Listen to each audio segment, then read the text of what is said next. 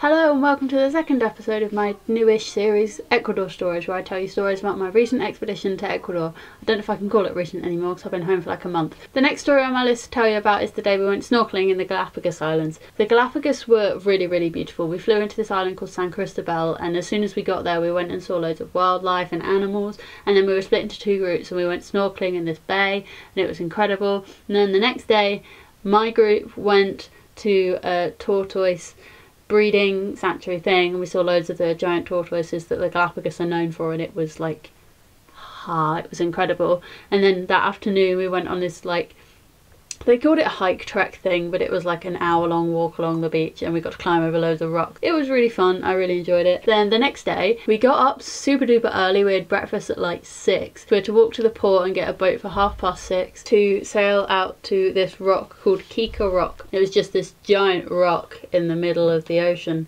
And it had like this split in the middle and we snorkeled through the middle and back and we went I think most of the way around the rock we were in the water for like an hour and a quarter and I could have stayed in for another hour and a quarter. We saw so many fish, we saw, we saw, we saw turtles and then we saw, we just saw so much wildlife. We saw sharks and the one of the leader guys kept asking me if I was okay because I kept spending too long looking under the water and forgetting to carry on swimming and catching up to the rest of the group.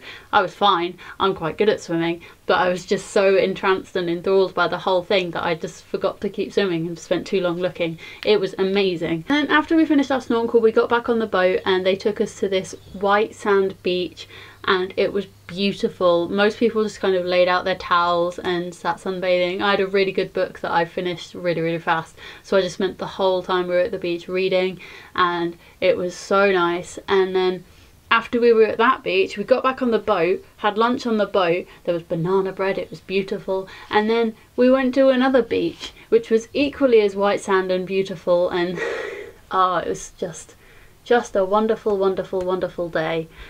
And then after we went to the second beach, we got back on the boat and we sailed back to the port and went back to the hostel.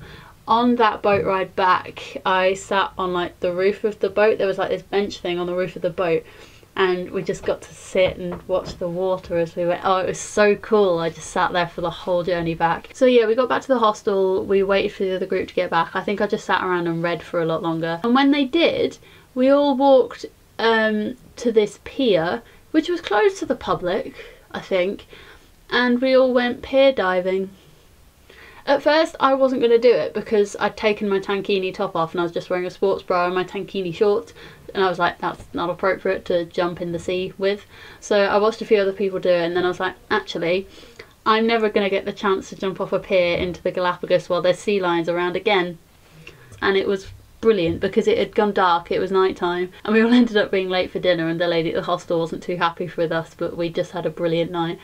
And then I think I probably just sat out on the roof with my friends looking at the stars and that's why that day snorkeling was one of the best days of my entire life. So that's the second story I have from Ecuador. I hope you're enjoying it as much as I have. I loved making last week's video and I'll leave a link to it in the description if you missed it. Give it a like if you liked it or if you'd like to go to the Galapagos or something like that or if you've done anything like that let me know in the comments. It would be cool to share stories. Uh, subscribe if you're new because I'm going to make a new Ecuador video every week. My plan is to do Ecuador stories videos on Wednesdays and then kind of other content on Sundays so I don't completely spam you with it. I'm really excited. I get really excited whenever I film one of these videos so I hope you're excited too. Thank you for watching. I'll see you soon. Bye!